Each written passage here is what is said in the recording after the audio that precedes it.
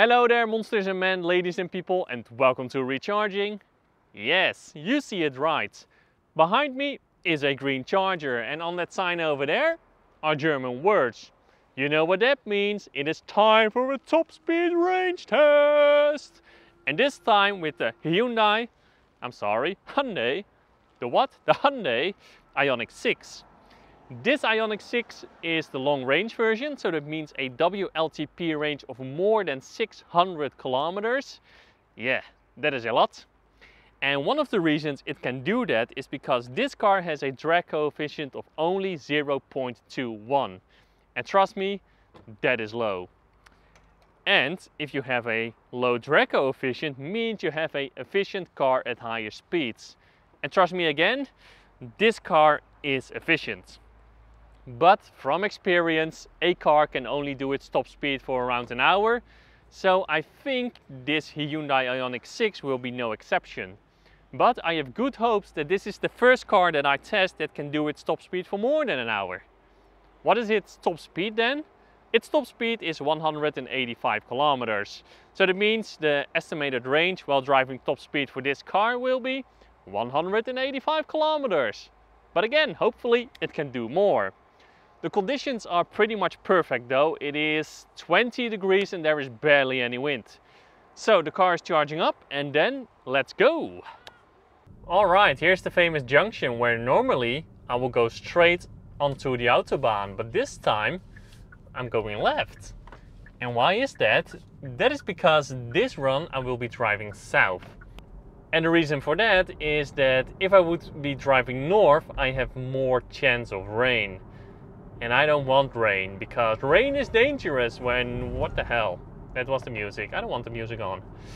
Anyway, rain is dangerous when you drive 185 kilometers an hour. Trust me, you don't want that. You want as dry conditions as possible. And that's the reason why I am going south this time. So let's turn on the Autobahn here. This is not the performance version, this is the long range version. So I think a acceleration of around seven seconds. So this car is not insanely quick, but it is efficient. And I like efficient cars more than I like fast cars. So let's floor it. It's not in sport mode, but let's floor it 100, 10, 20, 30. It accelerates fine. It accelerates absolutely fine.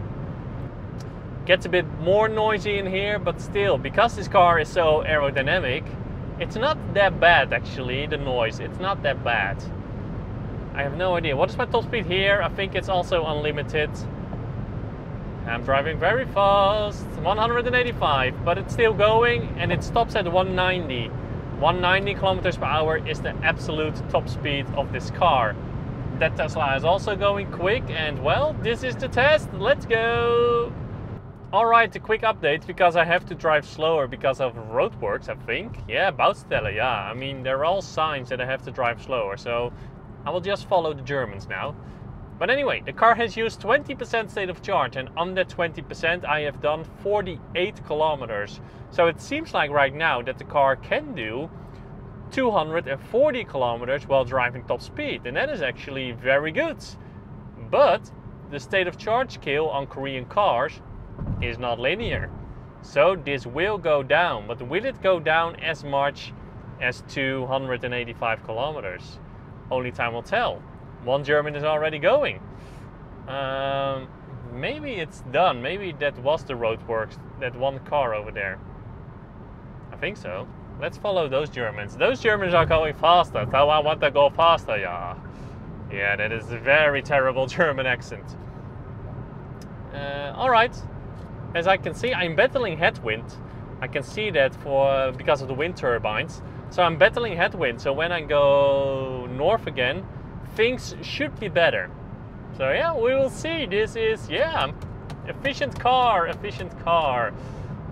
All right, braking for the turnaround point. Also, the dark is, the dark, the sky is very dark up here. It is raining a bit, so time to get the hell out of here because I don't like rain. Hey, this is the point where I started with the NIO ET7. Wow, I have driven quite a distance, 71 kilometers. not bad, not bad. I said less chance of rain while driving south, not no rain, because well, there are cloud storms, showers, I don't know the correct word. Showers, there are showers everywhere in the Netherlands and in the west of Germany. Damn, this is difficult. Anyway, turnaround point. The car has used 30% state of charge and I have done 70 kilometers on that 30%. So 24 kilometers is gone. It is now less, around 23. So again, it is going down, going down. What did I mean by 24 and 23 kilometers? I meant 240 kilometers of range and 230 kilometers of range. Yeah, this is one complicated story, I know. Power! there was a Mercedes. When I drove south, there was a Mercedes in my back. I mean, that guy was going 220, 230. Man, there always there's always someone going faster than you. Another thing, the wipers don't like driving 190 kilometers per hour. They can't wipe that fast. Anyway, I have tailwind now, so the consumption should go down. So, yeah, this should be a good run. This should be a good run. This is not a good run, people, not a good run. It is so insanely busy.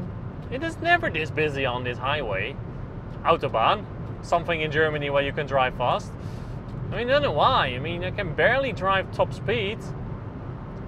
This guy wants to outrace me. Well, you can do that. Just drive 190 kilometers an hour, you're fine.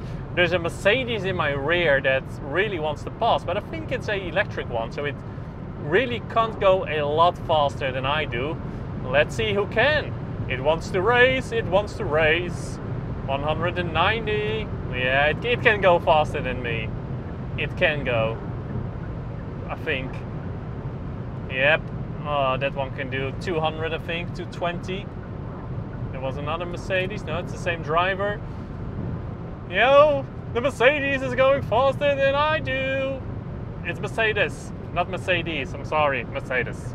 Like a German would say. There's another car. Damn, this is difficult. Okay, I talked really quickly there. Hopefully you could understand something. Nope. The Mercedes is doing, yeah, I think it's doing 200. It's probably doing 200. Because, well, it's, it's not gaining on me. It's going further away. So I'm doing 190. He's doing 200 kilometers an hour, people. 200 kilometers an hour. It is happening, people. It is happening. The same thing is happening to this Ioniq 6 as I had with the Kia EV6. I cannot do 190 kilometers per hour anymore. I don't get full power. The reason for that was, I think, or the battery was too warm or the motor was too warm, so the car throttled me. And again, the same thing is happening. I'm not getting full power. The car can now do 185 kilometers an hour instead of 190. Same architecture, same drivetrain, same thing is happening. Yep, yep, yep, yep. And because the power is limited, the acceleration goes so slow, and there goes a Mercedes again. Oh, I'm losing this.